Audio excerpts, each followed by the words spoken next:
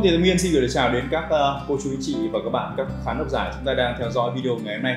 Và ngày hôm nay Đức Trung và Chị Hào sẽ cùng quay lại trao đổi đến các quý cô chú anh chị và các bạn những cái kiến thức của việc khai sinh lập hướng trong những tháng cuối năm 2020 canh tí và những cái uh, việc lưu tâm của các sơ hướng cho năm 2021 tân sửu tới. Và trong video trước thì Đức Trung và Triệu Hà đã nói đến tháng 8 và tháng 9 âm lịch đúng không ạ? Và video này thì chúng ta sẽ cùng nhau điểm qua vào các tháng tháng 10, tháng 11 và tháng 12. Và thưa anh Triệu Hào rằng là trong tháng 10 sắp tới thì uh, những cái hướng nào mà chúng ta có thể triển khai được trong năm 2020 nhỉ anh nhỉ? Dạ vâng, xin cảm ơn Đức Trung. À, chắc có lẽ ta sẽ đi ờ, vào luôn vấn đề vào tháng 10. Tháng 10 thì uh, trong tháng 10 tới đây thì ta sẽ có hai cái phương án. Thứ nhất là liên quan đến việc lập hướng. Thì bản thân quý cô chú anh chị có thể lựa chọn hướng Tây, tức là hướng Tây thì bao gồm ba sơn đấy là canh dậu tân. Uh, kéo dài trong độ số từ 247,5 đến 292,5 độ. Uh, thì uh, cái nhà hướng Tây thì hoàn toàn có thể là khai sơn lập hướng được, uh, tức là xây mới. Và cái phương án thứ hai đấy là nhà hướng Tây Nam. Cái nhà hướng Tây Nam thì hoàn toàn có thể triển khai liên quan đến việc tu phương. À, và uh, như quý cô chú anh chị cũng theo dõi từ những cái tháng trước thì bản thân cái việc tu phương này sẽ rất hạn chế trong năm 2020 và sang đến năm sang đến tháng 10 này thì rất may mắn cho cái nhà hướng Tây Nam thì hoàn toàn có thể triển khai xây dựng được. Thì Tây Nam thì bao gồm Ba Sơn đấy là mùi khôn và thân uh, kéo dài từ độ số từ 202,5 đến 247,5 độ. Thì uh, mặc dù là có hai hướng có thể triển khai xây dựng được tuy nhiên chúng ta cũng cần lưu tâm liên quan đến việc là cái thời điểm để lựa chọn hay là uh, lý do cũng như là cái phần lưu tâm để mà triển khai công việc như thế nào. Thì xét trong tháng 10 thì bản thân cái nhà hướng tây là cái nhà mà vượng long giống như cái nhà hướng nam. Giống như cái nhà hướng nam thì uh, khí rất vượng liên quan đến địa khí rồi là yếu tố về thiên khí cũng rất cát cho nên bản thân hoàn toàn quý cô chú có thể triển khai xây dựng được. Uh, sang đến năm 2021 thì uh, phương án này sẽ như thế nào? Phương án này sẽ như thế nào? Thì đối với cái nhà hướng tây thì sang năm 2021 thì lại cái nhà là cái nhà mà có tọa là tọa tam sát. À, tọa là tọa tam sát tức là nhà thì hướng tây thì sẽ là là cái nhà mà phạm phải tam sát. Vâng. tức là tam sát thì đến ba phương hướng tây thì ta biết là uh, năm 2021 là năm tân sửu Vâng. thì tam sát đến ba phương đấy là dần mão thìn Vâng. à, dần mão thìn thì cho nên rằng là cái nhà hướng tây cái năm 2021 tức sẽ là cái nhà mà phạm phải tam sát Ừ. cho nên cái việc tu xương sửa chữa hay là khai sơn lập hướng sẽ là cái việc mà rất khắc nghiệt Vâng. rất khắc nghiệt giống như các anh Trung nó đã chia sẻ từ những cái video trước à, thì bản thân mình lựa chọn nó sẽ khó khăn hơn Vâng. à, nếu như mà bắt buộc phải làm bắt buộc phải làm thì cần có cái sự tư vấn uh, kỹ lưỡng từ phía chuyên gia để mà có được cái thời điểm hay là cái cách thức để mình hóa giải những cái phần liên quan đến trạch đất nó chưa được sự được cắt lợi Vâng. Đấy. thì uh, sang hoàng sang đến cái phương án liên quan đến cái nhà tây nam Vâng. thì nó sẽ như thế nào 2021 thì À. làm sao? 2021 nhà Tây Nam thì bản thân cái nhà Tây Nam sang 2021 thì nó sẽ có nhiều cái phương án để lựa chọn hơn.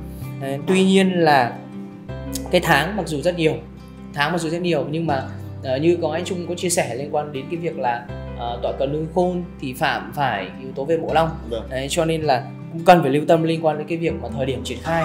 Đặc biệt là trong cái trong cái nhà Tây Nam hướng Tây Nam này thì còn lại có sơn dần uh, dần tức là tọa dần hướng thân thì lại phạm phải mộ long cho nên đây cũng là một cái cái nhà hay là cái tọa hướng cần phải tránh cái trục này là cần phải tránh Ờ, ngoài ra thì có một điều lưu tâm nữa đấy là cái việc mà không có nên chọn cái ngày bính đinh để mà để chọn lựa Vâng. Đấy, thì đó là một số cái lưu tâm liên quan đến cái việc là cái nhà hướng tây nam và nhà hướng tây sẽ như thế nào thì ờ, ờ, triệu hào xin ờ, chia sẻ liên quan đến tháng 10 là những cái tiêu điểm liên quan đến việc đó Vâng. thì sang tháng 11 thì xin mời Đức Trung chia sẻ một số cái điểm để quý cô chú anh chị có thể là có cái nhìn tổng quan và chi tiết hơn Vâng.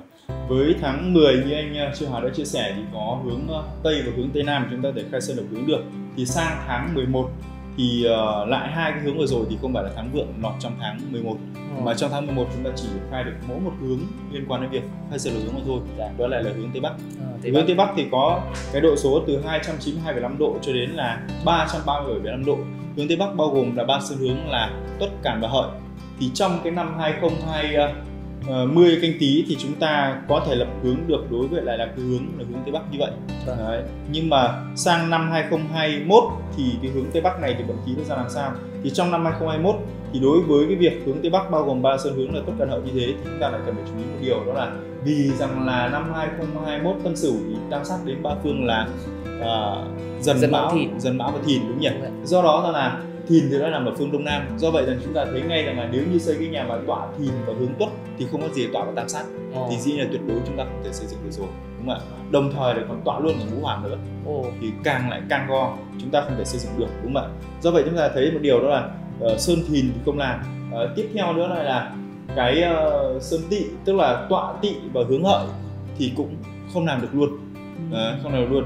Bởi vì rằng là nó cũng có cái yếu tố đó là phạm phải cái uh, mộ long biến vận sát đồng thời là tọa luôn cả cái ngũ hoàng đại sát do vậy rằng là cũng rất khó để chúng ta xây dựng được như vậy chúng ta thấy ngay một điều là trong năm 2021 thì uh, thìn tốn tỵ thì có lẽ chúng ta chỉ xây dựng được cái sơn hướng là tốn cản mà thôi Ồ. Đấy, thì tuy nhiên một điều đó là muốn làm được cũng cần phải lựa chọn vào cái thời điểm gọi là nhật nguyệt đạo sơn hướng cũng như tháng vượng và dùng tam kỳ uh, để mà động thổ để mà bổ long động thổ thì nó sẽ hóa giải được phần nào liên quan đến yếu tố xung sát Đấy. do vậy một điều đó là trong năm 2021 tới thì cái hướng tây bắc là một hướng cũng rất là căn go để mà liên quan đến xây dựng. Do vậy nếu như những ngôi nhà nào mà hạng mục xây dựng lâu dài thì trong cái tháng 11 mà chúng ta đẩy nhanh được tiến độ thì có thể triển khai động thổ những ngôi nhà hạng mục nhỏ nhỏ hơn. À, và nếu như theo tiến độ có thể làm lân sang 2021 thì năm 2020 chúng ta có thể triển khai xây dựng động thổ luôn. Để mà chú ý còn đâu là năm 2021 thì cũng rất là nghiệt.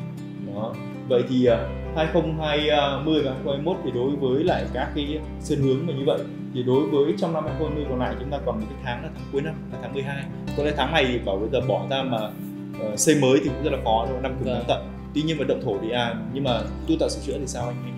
Ờ, nếu mà xét về tháng 12 Vâng. tháng 12 đi là cái tháng cuối cùng ở trong năm thì bản thân quý cô chú anh chị tại sao là hay có cái, khái niệm là năm cùng tháng tận Vâng. bởi vì rằng là bản thân vào cái tháng đó thì cái công việc cũng dồn dập nó tới và cái tinh thần liên quan đến việc chuẩn bị như là để mà động thổ thì nó sẽ rất là khó bởi vì nó sẽ bị ảnh hưởng nhiều tới yếu tố công việc rồi là các yếu tố liên quan Nên cho nên là cái tháng này nếu như mà ờ, anh chị hay là quý cô chú có muốn đón một cái, cái Tết mới nó, khác hơn ờ, nó khác biệt hơn hay là cái căn nhà của quý cô chú anh chị bắt buộc phải tu sửa liên quan đến việc mà nó không có được can lợi.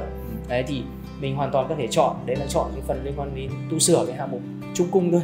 Trung cung thì quý cô chú anh chị có thể hiểu đến cái phần liên quan đến ví dụ lập mái chẳng hạn. Những cái hạng mục liên quan đại tu. Ờ, đại tu có thể là lập lập mái này đấy, hoặc là có thể là tu tạo lại khu vực trung cung ví dụ một số cái phòng ốc thường thì có thể nó sẽ là các cái phòng liên quan đến phòng khách Ừ. ờ, để tu tạo lại để có một cái không gian nó mới hơn để mình đón Tết làm sao đó để mà đón được cái cát khí và khí nhiều hơn.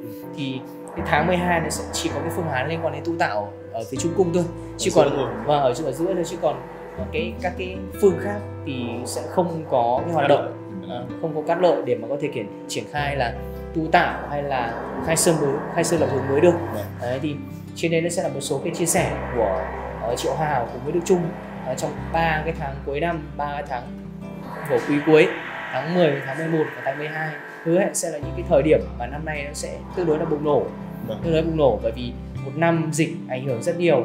Một năm dịch ảnh hưởng rất nhiều cho nên là bản thân là sẽ có cái sự bứt phá nhiều hơn vào cuối năm cố gắng nhiều hơn để mà có được cái Tết đúng nghĩa. Ờ, thì Triều Hào với Đức Trung cũng mong muốn là quý cô chú anh chị có được cái phương án nó rõ ràng hơn cụ thể hơn. Ờ, và chỉn chu hơn trong mọi thứ. Đặc biệt là việc là tu vương sửa chữa hay là ờ, cải tạo lại cái ngôi nhà cái không gian ờ, để mà có thể là nơi mà sum họp con cháu cũng như là ờ, để quý cô chú anh chị có một cái năm mới nó tốt lành hơn.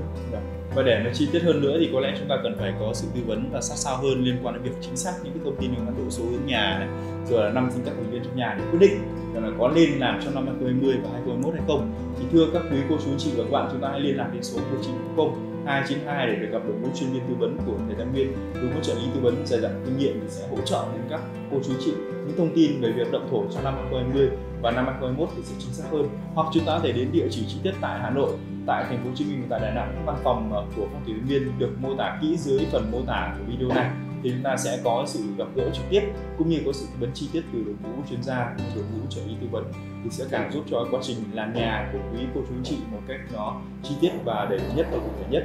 Và hãy để phong thủy viên có cơ hội được song hành cùng với lại uh, việc xây dựng nên một ngôi nhà của các cô chú chị để ngôi nhà thực sự là nơi bước đến và chốn mong về. Và Đức Trung và Triệu Hào cũng xin cảm ơn cũng như là hẹn gặp lại các quý cô chú chị trong những video tiếp tới liên quan đến việc phân tích liên quan đến các cái thời điểm và các cái uh, sự kiện liên quan đến động thổ làm nhà trong năm 2021 Tân Sửu. Xin cảm ơn cũng như hẹn gặp lại trong những video tiếp theo. Xin chào.